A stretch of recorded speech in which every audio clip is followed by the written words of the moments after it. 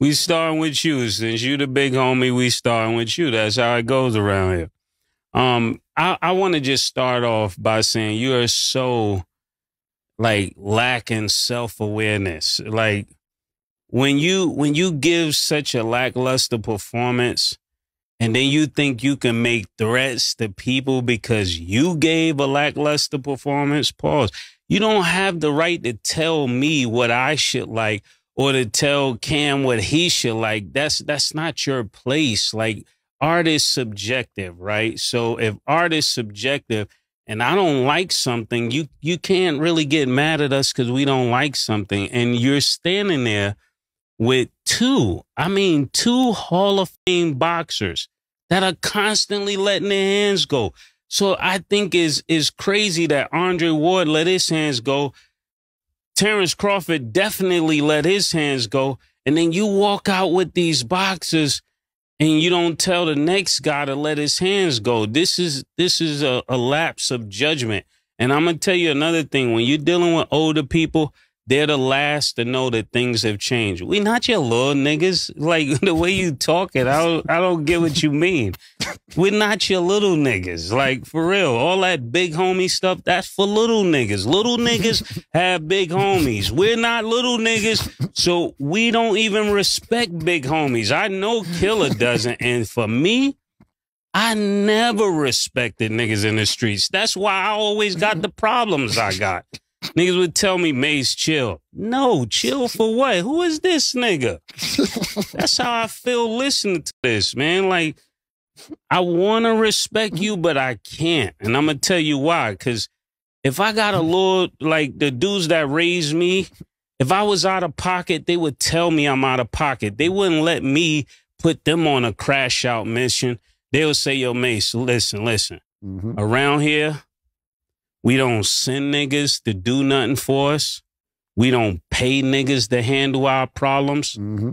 You got to put in your own work around here, Lord, man. That's what you were supposed to tell them. You can't go out here and talk crazy and then send me on a mission. Mm-hmm.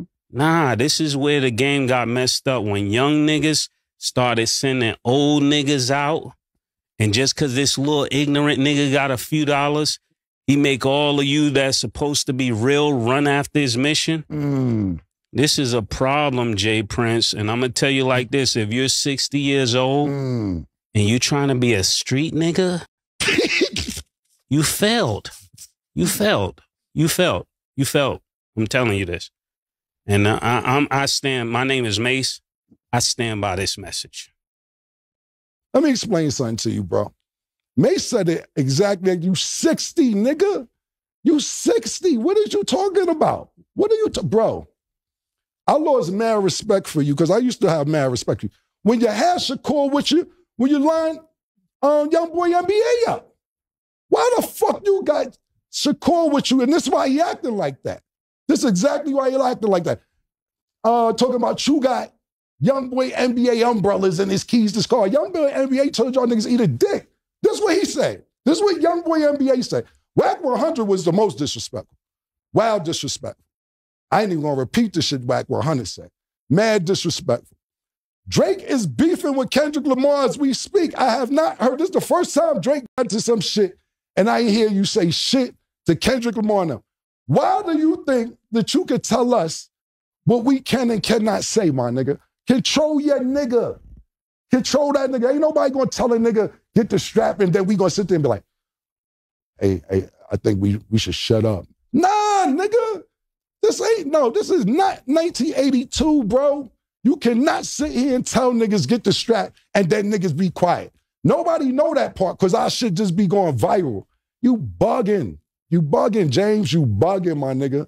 And I'm gonna leave it at that. I don't know what bet you talking about, all that other slang then.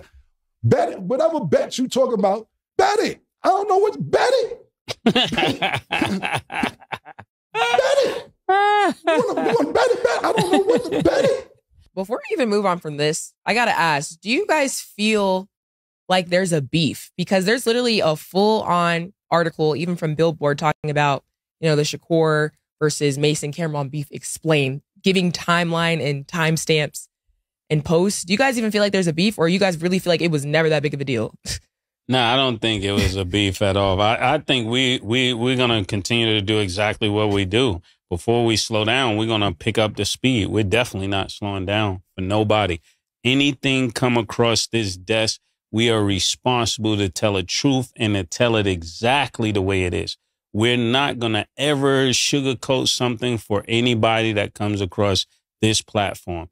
And so make sure when your sports come across us that it comes across us the way you want it to be heard because when we see a fight, we have to call it the way we call it. When we see basketball, we got to call it the way we call it. And we're not changing for nobody. That's what makes us different.